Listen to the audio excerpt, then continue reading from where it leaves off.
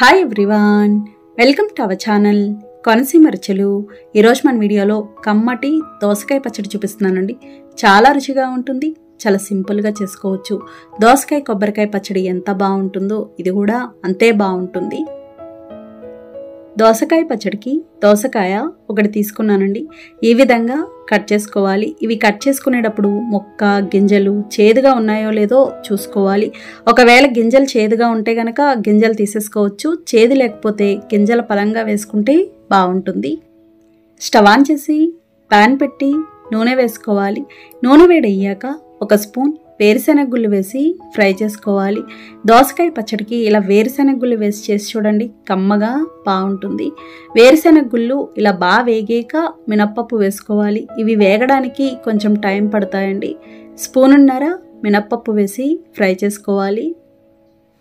ఒకవేళ మీకు వేరుశెనగ వద్దు అనుకుంటే ఒక స్పూన్ నువ్వులైనా వేసుకోవచ్చు. నువ్వులైతే నూనె లేకుండా త్వరగా వేయించుకోవాలి.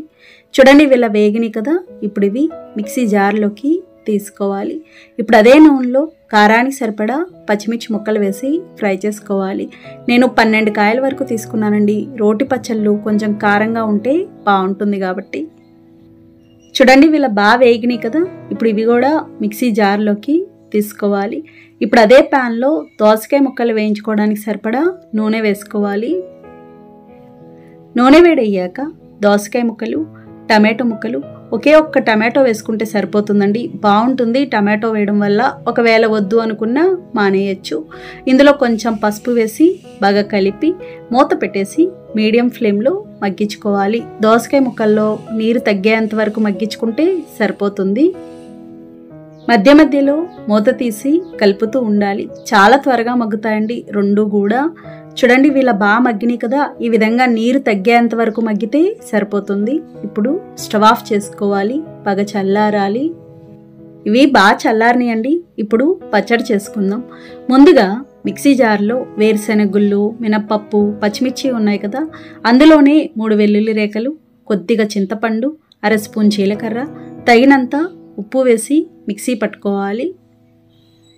ఇలా మిక్సీ పట్టుకున్నాక మనం ముందుగా మగ్గించిన దోసకాయ టమాటో ముక్కలు కూడా వేసి మిక్సీ పట్టుకోవాలి. మరీ మెత్తగా ఉండకూడదండి కచ్చాబచ్చాగా ఉండాలి. అక్కడక్కడ కొంచెం ముక్కలు కనిపించేలా ఉంటే పచ్చడి ఏదైనా సరే చాలా బాగుంటుంది. ఈ విధంగా ఉండాలి ఇలా ఉంటే సరిపోతుంది. ఇప్పుడు పోపు పెట్టుకుందాం. ఒకవేళ పోపు వద్దు అనుకున్నా మానేయచ్చు. పోపు కోసం ప్యాన్ పెట్టి నూనె వేసుకోవాలి. నూనె వేడయ్యాక కచ్చాబచ్చాగా దంచిన మూడు వెల్లుల్లి రేఖలు చిన్న స్పూన్తో ఒక స్పూన్ పచ్చిశనగపప్పు ఒక స్పూన్ ఆవాలు అర స్పూన్ జీలకర్ర వేసి ఫ్రై చేసుకోవాలి. మనం మూడు వెల్లుల్లి రేఖలు పచ్చళ్ళు వేసాం కదండి ఇంకొక మూడు ఇలా పోపులో వేస్తున్నాము. చూడండి ఇది ఇలా బాగా వేగింది కదా ఇలా వేగాక ఎండుమిర్చి కొంచెం కరివేపాకు వేసి ఫ్రై చేసుకోవాలి. పచ్చళ్ళకి పోపు తాలింపు పెట్టుకునేటప్పుడు ఎక్కువగా వేరుశనగ నూనె కానీ నువ్వుల నూనె కానీ అయితే కమ్మగా ఉండి ఇంకా బాగుంటుంది. పోపు అంతా ఇలా వేగాక స్టవ్ ఆఫ్ చేసుకోవాలి. స్టవ్ ఆఫ్ చేసాక కొంచెం కొత్తిమీర వేసుకోవాలి. ఇందులో మనం ముందుగా మిక్సీ పట్టుకున్న పచ్చడి వేసి కలుపుకోవాలి. ఇంతేనండి దోసకాయ పచ్చడి తయారైంది. చాలా బాగుంటుంది. టిఫిన్స్లో కూడా తినచ్చు. ఒక రోజు వరకు ఉంటుందండి. ఫ్రిడ్జ్లో పెట్టుకుంటే రెండు రోజులు ఉంటుంది.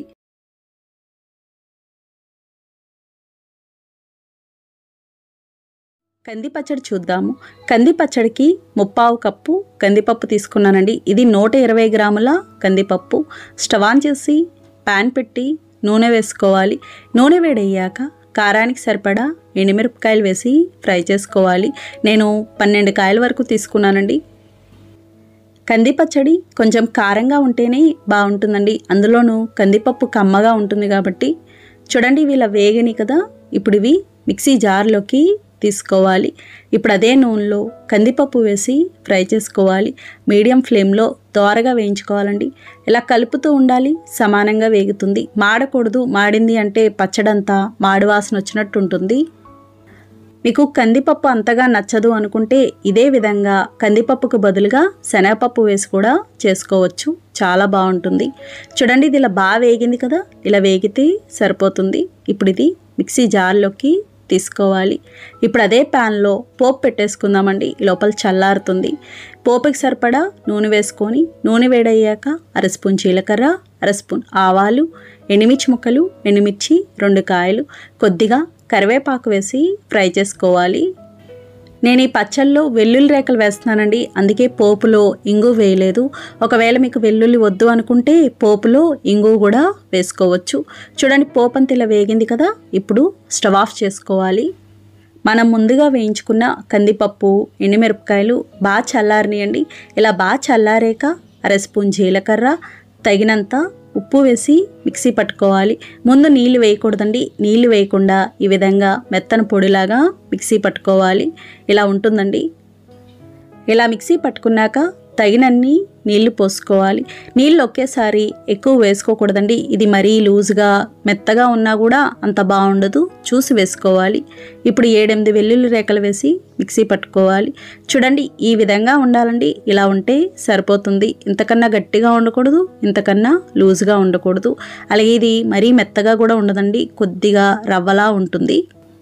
ఇప్పుడు ఈ పచ్చడి మనం ముందుగా పోపు పెట్టుకున్నాం కదండి పోపులో వేసుకోవాలి. అలాగే మనం చింతపండు వేయలేదు. చింతపండుకు బదులుగా పులుపుకు సరిపడినంత నిమ్మరసం వేసుకోవాలి. నిమ్మరసం వేయడం వల్ల చాలా బాగుంటుందండి. నేను రెండు నిమ్మకాయల రసం తీసుకున్నాను. ఒకవేళ పులుపు చాలకపోతే ఇంకొంచెం వేసుకోవచ్చు. చూడండి ఇలా బాగా కలుపుకున్నాం కదా. ఇంతేనండి కంది పచ్చడి తయారైంది. ఇది పుల్లగా కమ్మగా బాగుంటుంది. అన్నం టిఫిన్స్లోకి తినచ్చు. మేము ఎక్కువగా ఈ పచ్చడి పండగలప్పుడు దేవునికి మహానైవేద్యం పెడతాం కదండి. మహానైవేద్యంలోకి చేస్తూ ఉంటాము. క్యాప్సికంతో పచ్చడి చూపిస్తున్నానండి. చాలా రుచిగా ఉంటుంది. చాలా సింపుల్గా చేసుకోవచ్చు. మామూలుగా మనం క్యాప్సికంతో అంటే ఎక్కువగా మసాలా కూర ఫ్రై కానీ ఏదైనా రైస్ ఐటెం కానీ చేస్తాము. కానీ పచ్చడి కూడా చాలా బాగుంటుందండి. అన్నం టిఫిన్స్లోకి తినొచ్చు. క్యాప్సికం పచ్చడికి క్యాప్సికం అర కేజీ తీసుకున్నానండి. ఈ విధంగా కట్ చేసుకోవాలి. స్టవ్ ఆన్ చేసి పాన్ పెట్టి రెండు స్పూనున్నర నువ్వులు వేసి మీడియం ఫ్లేమ్లో దోరగా వేయించుకోవాలి. ఇలా నువ్వులు వేసి చేయడం వల్ల ఈ పచ్చడి కమ్మగా ఉండి చాలా బాగుంటుందండి. నువ్వులు వేయించుకోవడానికి నూనె కానీ ఏమీ అవసరం ఉండదండి. చూడండి వీళ్ళ వేగిని కదా ఇప్పుడు ఇవి మిక్సీ జార్లోకి తీసుకోవాలి. ఇప్పుడు అదే ప్యాన్లో నూనె వేసుకోవాలి. నూనె వేడి అయ్యాక కారానికి సరిపడా పచ్చిమిర్చి ముక్కలు వేసి ఫ్రై చేసుకోవాలి. నేను పదిహేను కాయలు తీసుకున్నానండి. మనకి క్యాప్సికమ్ కారం ఉండవు. అలాగే నువ్వులు కూడా వేసాం కాబట్టి కాస్త కారం ఎక్కువే పడుతుంది. మామూలు పచ్చళ్ళకి పచ్చిమిర్చి ఎలా వేసుకుంటామో దీనికి కూడా అంతే. ఇవి ఇలా వేగినాయి కదండి. ఇప్పుడు ఇవి గిన్నెలోకి తీసుకోవాలి. ఇప్పుడు అదే నూనెలో క్యాప్సికమ్ ముక్కలు వేసి ఫ్రై చేసుకోవాలి. ఒకవేళ నూనె బాగా తక్కువ ఉంది అనుకుంటే ఇంకొంచెం నూనె వేసుకోవచ్చు. ఇలా బాగా కలిపి మూత పెట్టేసి మీడియం ఫ్లేమ్లో మగ్గించుకోవాలి. మధ్య మధ్యలో మూత తీసి కలుపుతూ ఉండాలి. మనకి క్యాప్సికమ్ చాలా త్వరగా మగ్గుతుందండి. అస్సలు టైం పట్టదు. చూడండి వీళ్ళ బాగా మగ్గినాయి కదా ఇలా మగ్గితే సరిపోతుంది. ఇంతకన్నా మగ్గాల్సిన అవసరం ఉండదు. ఇప్పుడు స్టవ్ ఆఫ్ చేసుకోవాలి బాగా చల్లారాలి. ఇవి బాగా చల్లారనియండి ఇప్పుడు పచ్చడి చేసుకుందాం. ముందుగా మిక్సీ జార్లో నువ్వులు ఉన్నాయి కదా నువ్వులు మెత్తగా మిక్సీ పట్టుకోవాలి. ఈ విధంగా ఉండాలండి పౌడర్లా అవుతుంది. ఇలా మిక్సీ పట్టుకున్నాక వేయించిన పచ్చిమిర్చి ముక్కలు కొద్దిగా చింతపండు. చింతపండు కాస్త ఎక్కువే పడుతుంది. మరీ తక్కువ వేసినా అంత బాగుండదు. తగినంత ఉప్పు అర స్పూన్ జీలకర్ర కొంచెం పసుపు ఐదారు వెల్లుల్లి రేఖలు వేసి కచ్చాబచ్చాగా మిక్సీ పట్టుకోవాలి. మరీ మెత్తగా ఉండకూడదు. చూడండి ఈ విధంగా ఉండాలి. ఇలా మిక్సీ పట్టుకున్నాక మనం ముందుగా వేయించిన క్యాప్సికమ్ ముక్కలు కూడా వేసి మిక్సీ పట్టుకోవాలి. నీళ్ళు కానీ ఏమీ అవసరం ఉండదు. ఇది ఊరికే మెత్తగా అయిపోతుందండి. చూసి మిక్సీ పట్టుకోవాలి. ఈ విధంగా ఉండాలండి. ఇలా ఉంటే సరిపోతుంది. ఇప్పుడు పోపు పెట్టుకుందాం. పోపు కోసం ప్యాన్ పెట్టి నూనె వేసుకోవాలి. నూనె వేడయ్యాక అర స్పూన్ శనగపప్పు అర స్పూన్ మినప్పప్పు పావు స్పూన్ జీలకర్ర పావు స్పూన్ ఆవాలు వేసి ఫ్రై చేసుకోవాలి. పోపంతా ఇలా వేగాక ఎండుమిర్చి ముక్కలు ఎండుమిర్చి రెండు కాయలు కొద్దిగా కరివేపాకు వేసి ఫ్రై చేసుకోవాలి. చూడండి పోపు ఇలా వేగింది కదా ఇప్పుడు స్టవ్ ఆఫ్ చేసుకోవాలి. స్టవ్ ఆఫ్ చేసి మనం ముందుగా మిక్సీ పట్టుకున్న పచ్చడి వేసి కలుపుకోవాలి. ఇంతేనండి. క్యాప్సికమ్ పచ్చడి తయారైంది. చాలా బాగుంటుంది కమ్మగా ఉంటుంది. అన్నం టిఫిన్స్లోకి తినచ్చు. మీరు చెప్తేనే కానీ తెలియదండి క్యాప్సికమ్తో చేసినట్టు అంత బాగుంటుంది. ఫ్రిడ్జ్లో పెట్టుకుంటే రెండు రోజుల వరకు ఉంటుందండి. వీడియోలో వాక్కాయ కొబ్బరి పచ్చడి చూపిస్తున్నానండి. చాలా రుచిగా ఉంటుంది. చాలా సింపుల్గా చేసుకోవచ్చు. మామిడికాయ కొబ్బరి పచ్చడి ఎంత బాగుంటుందో అంతే బాగుంటుంది. కొంచెం పుల్లగా కమ్మగా భలే రుచిగా ఉంటుంది. వాక్కాయ కొబ్బరి పచ్చడికి వాక్కాయలు. ఇవి పావు కేజీ కంటే కూడా తక్కువే ఉంటాయండి. నేను పావు కేజీ కాయల్లో సగం కాయలు మాత్రమే తీసుకున్నాను. ఇవి బాగా పుల్లగా ఉంటాయి కాబట్టి వాక్కాయల్ని బాగా కడిగి ఈ విధంగా కట్ చేసుకోవాలి. ఇలా కట్ చేసుకొని మధ్యలో గింజలు ఉంటాయండి. గింజలు ఖచ్చితంగా తీసేసుకోవాలి. లేదంటే మనకి ఒగరగా ఉన్నట్టుంటుంది. వాక్కాయలతో పప్పు చేసిన పచ్చడి చేసిన ఈ విధంగా కట్ చేసుకొని గింజలు తీసుకోవాలి. చూడండి అన్నీ ఇలా కట్ చేసుకున్నాం కదా. నూట పాతి గ్రాముల వాక్కాయలకి ఒక కొబ్బరి చెక్క కరెక్ట్గా సరిపోతుందండి. ఒకవేళ పావు కేజీ వాక్కాయలు అనుకోండి కొబ్బరికాయ మొత్తం వేసేసుకోవచ్చు. కొబ్బరి ముక్కలను కూడా ఈ విధంగా కట్ చేసుకోవాలి. ఇప్పుడు పచ్చడి చేసుకుందాం. ముందుగా మిక్సీ జార్లో కొబ్బరి ముక్కలు వేసి మెత్తగా మిక్సీ పట్టుకోవాలి. ఇలా మెత్తగా మిక్సీ పట్టుకున్నాక మిగతా ఇవన్నీ వేసుకుంటే పచ్చడంతా బాగా నలుగుతుందండి. లేదంటే కొబ్బరి ముక్కలు సరిగ్గా నలగవు. కొబ్బరి ఇలా మిక్సీ పట్టుకున్నాక కారానికి సరిపడా పచ్చిమిర్చి ముక్కలు నేను పదిహేను కాయలు తీసుకున్నానండి. పులుపు కదా కారం కాస్త ఎక్కువే పడుతుంది. తర్వాత వాక్కాయ ముక్కలు తగినంత ఉప్పు అర స్పూన్ జీలకర్ర కొద్దిగా నీళ్ళు పోసి మెత్తగా మిక్సీ పట్టుకోవాలి. నీళ్ళు చాలా కొంచెం పడతాయండి. అంతగా అవసరమైతే తర్వాత చూసి వేసుకోవచ్చు. అలాగే ఈ పచ్చడికి ఏవి కూడా వేయించాల్సిన అవసరం ఉండదు. పచ్చివే చేస్తాము. చూడండి ఇలా మిక్సీ పట్టుకున్నాం కదా? ఇంతేనండి. ఇప్పుడు పోపు పెట్టుకుందాం. పోపు కోసం పాన్ పెట్టి నూనె వేసుకోవాలి. నూనె కొంచెం ఎక్కువ ఉంటేనే బాగుంటుందండి. నూనె వేడయ్యాక ఒక స్పూన్ శనగపప్పు ఒక స్పూన్ మినప్పప్పు అర స్పూన్ జీలకర్ర అర స్పూన్ ఆవాలు వేసి ఫ్రై చేసుకోవాలి. ఇది సగం వేగాక మిగతాయి వేసుకోవచ్చు. పోపిల సగం వేగాక పావు స్పూన్ ఇంగు వేసుకోవాలి. ఇంగు ఖచ్చితంగా వేసుకోవాలండి. వాక్కాయకి వాతం చేసే గుణం ఉంటుంది కాబట్టి ఇంగు వేస్తారు. ఇందులో కొద్దిగా కరివేపాకు ఎండుమిర్చి ముక్కలు వేసి ఫ్రై చేసుకోవాలి. కాళ్ళు నొప్పులు కానీ నడు నొప్పి కానీ ఎక్కువ ఉన్న వాళ్ళైతే వాక్కాయ పచ్చడి తినొద్దండి. ఎందుకంటే ఇది కొంచెం వాతం చేస్తుంది మళ్ళీ నొప్పులు ఎక్కువ అవుతాయి.